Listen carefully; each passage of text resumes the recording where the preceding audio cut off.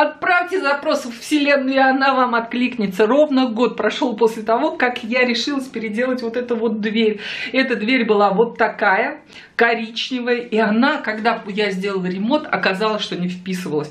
Если бы я понимала в самом начале, что она настолько будет не вписываться, может быть, я в самом начале начала ее переделку, но когда уже весь ремонт готов, шкаф готов, все, и я лежу на своем диване, смотрю на эту бородавку коричневую, которая у меня не вписывается, и все время думала, что же делать, что же делать, что же делать. Вселенная дала мне ответ на этот запрос. Это вот эти вот замечательные краски, которые помогли мне превратить мою дверь в то, что я желала, и чтобы она опять вписалась и стала такой красивой, и стала украшением, и я теперь ее не замечаю, и только восхищаюсь тем, что произошло. Спасибо Мои красочки мне помогли, но я целый год.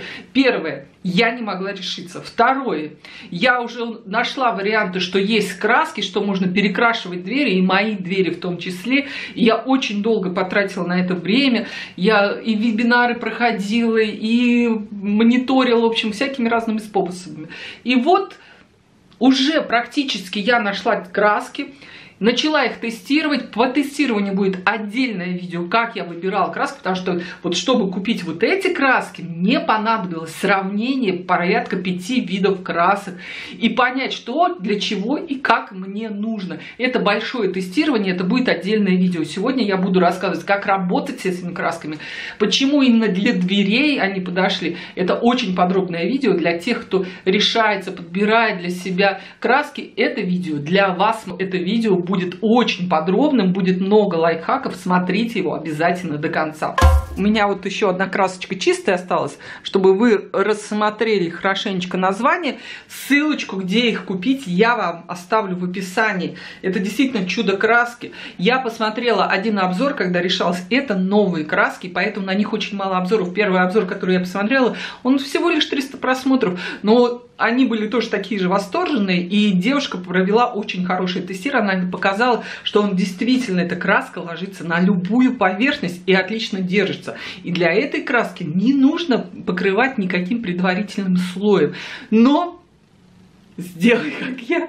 Но так как я понимала, что нет видео тестирования для этих красок, то так как у меня 4 двери, то я на них попробовала разные способы нанесения краски. И сейчас я буду вам подробнее рассказывать про мои удачные и неудачные попытки. А ошибки это самое важное, и про них стоит рассказать, потому что именно на моих ошибках, если вы научитесь, то вы идеально подберете себе краску и покроете свою дверь, и не будете беспокоиться. Итак, поехали. С чего же начать? Первое – это решиться. Для, что нужно для того, чтобы вот пришло вот это вот уверенность в себе, без уверенности в себе за такую работу не стоит браться, если вы решили, что вы будете делать это самостоятельно. Вы анализируете все аргументы. Вы не можете переставить эту дверь, потому что это слишком дорого, это слишком грязно, вам придется переделать ремонт, и у вас другого способа, как перекрасить самой, уже нет, потому что даже перекраска у кого-то другого других стоит больших денег. Я запрашивала мастера, сколько будет стоить э, дверь перекрасить, не этими красками, немножко другими, но цена 13 тысяч одна дверь. Извините, я взяла краски и у меня себестоимость только красок без работы. В результате я перекрасила 4 двери за 2 дня. Помочь решиться мне помогло тестирование. То есть я взяла краски и не сразу кинулась в бой и начала ее на своей двери тестировать. Я понимала, что у меня нет опыта и нужно где-то протестировать. Поэтому я взяла шкаф и на нем тренировалась. И вы тоже не бойтесь. Найдите старую мебель, на которой вы можете сделать 3-4 мазка, чтобы убедиться и приобрести уверенность в себе. Именно уверенность в себе и уверенная рука дает отличный результат. Если вы будете бояться и что-то делать, то эксперимент эксперимент пройдет неудачно. Поэтому приобретите уверенность в себе. Сходите на любую свалку, там полно этих шкафов. Прям там чуть-чуть покрасьте, посмотрите, как сохнет, как наносится. И успокойтесь, и вы поймете, что вы сможете сделать это. Подбор цвета для дверей – это очень сложная вещь в готовом интерьере. Если вы проектируете интерьер с нуля, то это не проблема. У вас все одно с другим складывается. А когда вы подбираете цвет под существующий уже интерьер, то есть у вас уже есть доминирующие цвета, то это еще та тема, потому что у меня было несколько вариантов для этих дверей по цвету. Я э, постараюсь э, в ближайшее время вот это видео скомпоновать, на что у меня повлиял выбор, потому что очень много компонентов, которые уже есть в вашем доме, и вы на них должны сконцентрировать внимание. Ведь дверь это доминирующая вещь, то есть она занимает достаточно большое пространство и такое хорошее цветовое пятно в любом помещении. Подготовка двери. У меня уже 10 лет, поэтому на двери был скотч, были уже небольшие царапинки, которые стоило удалить. Поэтому скотч я отмыла. У меня вот такое универсальное средство, я уже э, не раз показывала вот эту вот э, фирму Грасс, которую я люблю. У них есть прям спрей против скотча. Но у меня вот антиграффити, он все убирает, абсолютно все. И маркеры, потому что на дверях остается очень много следов после эксплуатации. И плакат какой-то вы привесили, и календарик вы можете там повесить. Поэтому вот э, пройдитесь обязательно и все вот это уберите. Э, наносится очень легко и сразу практически есть эффект. Если у вас нет специального средства, маслом приходится подсолнечным маслом, хорошо отмывает вот следы скотча, либо средство для снятия лака. Я не снимала, у меня было там 2-3 щелочки, которые я заделала, сам процесс э, шпаклевки. Просто берете там любую шпаклевочку, если у вас есть щели, берете шпатель, у меня уже был, можно поменьше, если если вы смотрели видеообзоры, у декоратов вообще такие аккуратненькие маленькие шпатели, э, которые есть там в магазинах для художников и так далее. То есть, ну, такое вот маленькое что-то. Вот, я нанесла. Если неровный шероховат у вас получился, то немножко зашквар. Следующий этап обезжиривания. Особенно ручки надо тщательно пройти, то есть там, где вы трогаете руками. И э, нужно пройти э, особенно тщательно там, где вы оттирали скотч, потому что средства, которые его оттирают, как правило, маслянистые. Чем же обезжиривать? Я прочитала два способа. Это универсальные обезжириватели, либо да, бежите за чекушкой. Не буду да, вот так вот показывать, да. Так вот, чем лучше, тем хуже, потому что я, видите, и тем, и тем настолько пахнет обезжириватель, что смысла я не понимаю ни в цене, ни в, ни, ни в чем.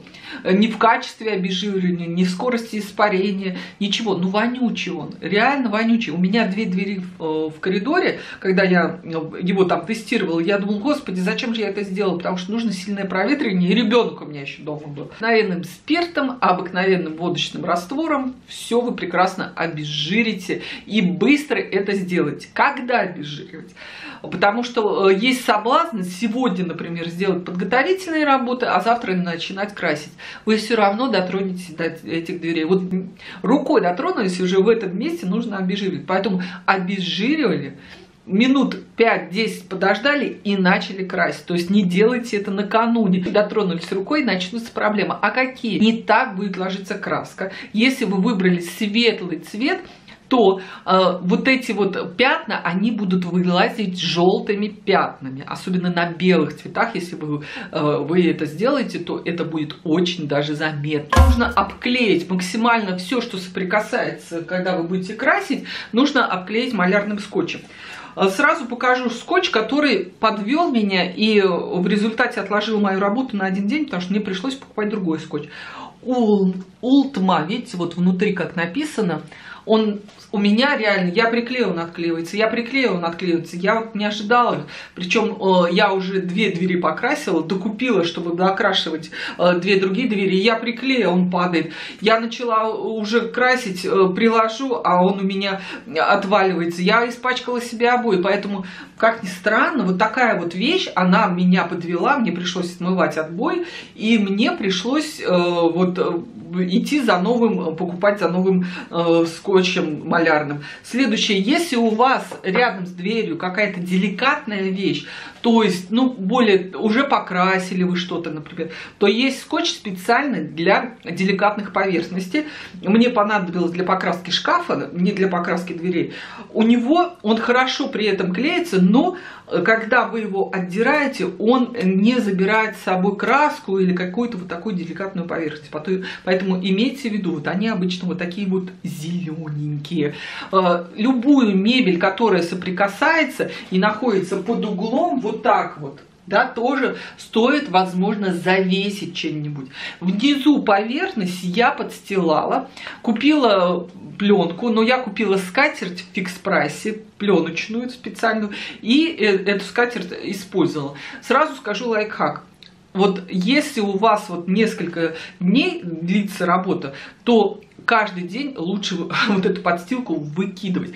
Как у меня сложилось? У меня попала какая-то краска, она плохо держалась, и в результате я перетащила этот коврик, краска начала отшелушиваться, отпадать от этого полиэтилена, и я эту грязь перенесла в другое место. Я прям пожалела, вы знаете, вот такие вот мелочи имеют значение. Я думаю, да лучше бы я две вот эти скатерочки купила в одном и в другом месте, чем туда-сюда перетаскивать. Поэтому на таких мелких вещах не стоит экономить. Придется потом оттирать полы, подметать, лишняя уборка. Зачем вам это нужно? Нервы ваши.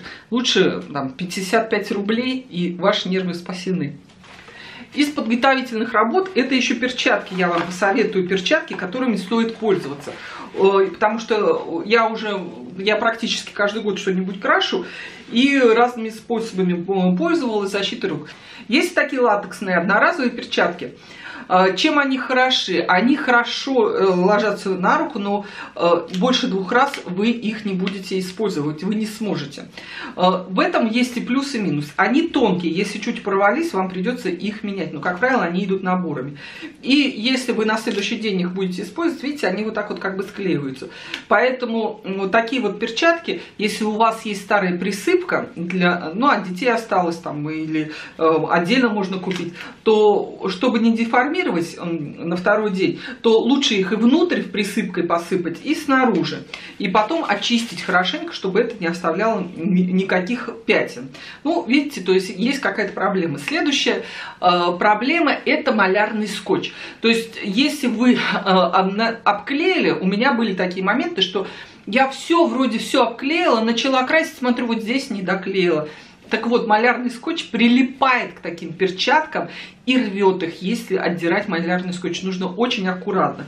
Поэтому, э, если вот у вас все идеально и все хорошо, и эти перчатки не порвутся, то в них красить удобнее, и в них не так жарко, потому что, как правило, покраска летом, а может стоять даже очень большая жара. Следующие перчатки, это вот такие вот, например, перчатки нитриловые они уже многоразовые, при этом они точно такие же тонкие, и они очень прочные. Э, если вы их не найдете в хозяйственных магазинах, вот, видите, они очень тоже хорошо э, ложатся, потому что в этот раз перед покраской я не могла их найти и купила их сейчас только после покраски думаю, нужно показать. Они тоже такие же тонкие, но они более толстые и так не рвутся. И даже если вы малярным скотчем заденете, то ничего не произойдет. Кроме того, э, если вы не найдете в хозяйственных магазинах, зайдите в аптеку и попросите хирургические перчатки, синенькие. Вот синие перчатки, у них так такая отличная чувствительность, и для хозяйственных работ, если там дома какие-то вы делаете работы, они тоже намного лучше, прочнее, чем вот эти одноразовые латексные. Последний день у меня был до краски, и из-за того, что у меня закончились перчатки одноразовые, а мне нужно было доделать, я э, вот, вот такие вот латексные хозяйственные, ну видите, вот они у меня, вот зеленые я докрашивала, все, все, что докрашивала, на них видно, потому что у меня здесь несколько докрасок, кроме дверей. Так вот, чем они плохи? Они многоразовые. Э, на следующий день вы можете их использовать, они быстро высохнут и не склеются между собой. Э, в них жарче намного, они плотные, но самый большой недостаток это вот такие вот, видите, точечки, ребристые точечки. И когда вы красите, и если вот, например, дверь вы красите с двух сторон, то вы по-любому вот так вот как бы за дверь хватаете, и это же не шкаф, у него нет опоры, да, он на петлях. Из-за того, что нет опоры, вы держитесь все время вот за боковинку двери. И вот этот вот отпечаток, только покрасили, смотрите, этот отпечаток у вас остается. А вот на гладких перчатках такого отпечатка нет. И мне приходилось быстро замазывать. Хорошо, что я быстро заметила, и это все не подсохло и не стало вот такой вот деформации э, на самой двери. То есть у них есть вот такой вот недостаток. В них жарче, несмотря на то, что они плотные. Да, они многоразовые. Но и по цене вы посмотрите, что лучше все-таки использовать латексные, более тонкие, вот эти вот синенькие, которые который я показала, или на крайний случай одноразовый, просто знаете, что может случиться такая ситуация. У вас, например, руки в перчатках, небольшой лайфхак вам подскажу. Вот смотрите, у вас остался кончик, вы вот так берете и приклеиваете его на какие-то ножницы, отдираете, приклеиваете на поверхность, на поверхность, снимаете и отрезаете. При этом Потом вот, видите, можно и поправлять скотчем. Скотч это, конечно, это требует некоторых навыков, но, по крайней мере, у вас останутся целыми перчатки. Все про подготовку я все рассказала. Я надеюсь, что это видео будет для вас полезно. И во второй части я буду рассказывать, как уже красить. И вот э, всякие подробности, нюансы, лайфхаки, которые у меня были уже именно непосредственно при покраске. Поэтому оставайтесь со мной, продолжайте смотреть, если эта тема вам интересна. Примерно раз в неделю я постараюсь сделать видео по покраске для того, чтобы не утомлять вас, ну и для того, чтобы полностью, полноценно э, тему всю раскрыть. И я надеюсь, в течение августа все свои покраски я вам покажу. Оставайтесь на моем канале, всегда позитивно и интересно. Всем пока! Следующий этап подготовки, это, конечно, надо купить валик. Инструмент самое главное. Какой же валик купить? Я все проверяла. Наносила с грунтом и без грунта, и разными валиками, и так, всяко смотрела, как лучше. Вот пользование таким молотком, как ни странно, это излишнее, э, вот прям расход краски. Потому что как, она вот по такой фактуре очень интересна. И я, когда другие двери красила, я уже лотком практически не пользовалась. Последовательность нанесения краски. Я тоже смотрела, искала, в каком порядке лучше начинать красить дверь. И такой вот пост увидела. Вот так вот, сначала вот так, потом вот так, потом... Я немножко не согласна, потому что на практике все получается немножко по-другому. Выровнял, делаю какое-то небольшое движение и скребнула. И у меня получается такой скол. Что в этом случае делать?